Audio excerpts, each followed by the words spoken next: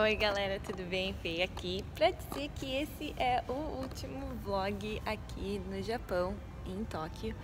Um, esse é o lobby que eu tenho me encontrado algumas horas do dia depois que eu fiz todos os meus tours, porque o quarto que eu fiquei não tinha internet, então foi assim muito impressionante não, não ter dentro do quarto a internet, porque a gente tá tão acostumado.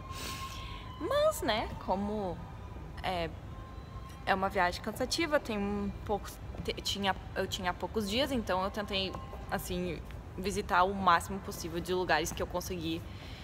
Então, não tem problema, não tem internet, a gente tem que aprender a viver sem a tecnologia. Mesmo essa cidade sendo muito tecnológica, então assim, foi foi assim meio impactante, mas como vocês viram, eu tive uma obsessão com os banheiros japoneses e o Toto, não sei como é que se pronuncia o nome da... É o, é o negocinho que liga a luzinha e tal do banheiro e tal. E eu não vou voltar a falar do banheiro, né, Fernanda? Vamos parar de falar do banheiro. Mas então, foi uma cidade muito encantadora, não, não esperava que essa viagem fosse acontecer assim do nada, mas aconteceu e foi muito bom. Conheci muitas, muitos lugares lindos. O que, que, mais? O trem, assim, eu usei o metrô, que é Metro o nome, então esse foi o que eu usei para todos os lados que eu fui. Eu comprei um passe de 72 horas e eu realmente usei bastante, porque aqui em Tóquio tem outras companhias que também usam que também são trens, mas que elas não têm conectividade uma com a outra, então tu tem que decidir uma companhia e tu tem que usar ela, entendeu? Então, como eu já tinha comprado o passe do Metro, que é tipo como se fosse o Subway em Nova York, então eu usei aquele por toda a estadia que eu estive aqui. Agora eu vou ir para um hotel que, não, que eu não estava hospedada só para pegar o ônibus que vai para o aeroporto. E daí depois é de volta pra LA e eu espero que vocês continuem curtindo a série sem cortes que eu estou fazendo aqui no YouTube e é onde eu posto vídeos assim aleatórios como eu tenho feito, como vocês viram o último com a Marta Saxer. Aliás, eu queria muito agradecer a Marta, foi maravilhoso ter te encontrado aqui, gatinha linda. Uh, tava morrendo de saudade. Espero que eu te veja logo em Nova York ou em Los Angeles. Uh, amei conhecer o Will, que é o marido da Marta, e foi muito bom. E agora eu vou ir pro shopping, esperar até o meu ônibus chegar. E, porque eu, eu acabei não gastando muito, pessoal, assim, eu achei que eu teria que eu ia gastar mais, mas eu não gastei tanto.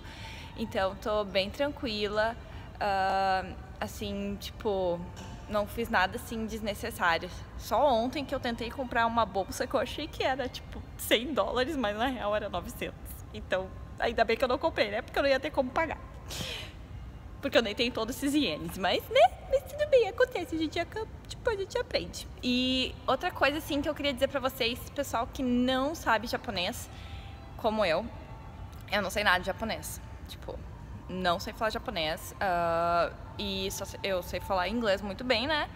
Hum, e pessoalzinho aqui, mesmo os que não sabem uh, inglês, assim, os japoneses que não sabem inglês, eles te dão, assim, uma ajuda mesmo do jeitinho deles explicando, entendeu? Então, o pessoal é bem educado, bem paciente.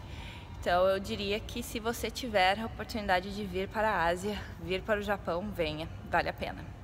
Não vejo a hora de poder voltar e ir para as outras cidades menores, como Kyoto, que não é tão pequena, né? Mas eu quero muito ir para lá e também uh, para o lado das montanhas também, que eu acho que seria interessante. Mas é isso, pessoal. Vocês sabem que eu adoro viajar. E este Uncut Series já está longo demais, então eu vou shut the fuck up. E se der um tempinho no aeroporto, eu posto mais um vídeo no banheiro. Então tá, galera. Beijo! E não se esquece de se inscrever no canal e me avisar o que vocês querem ver proximamente nos próximos vídeos. E sei lá mais o que. E eu também vou conversar um pouquinho mais a respeito... Então, tenta assistir também os videozinhos sobre a minha vida amorosa, que são bem interessantes em inglês. Um, ou a falta da vida amorosa da Fernanda. Mas é isso, galera. Então tá, beijo!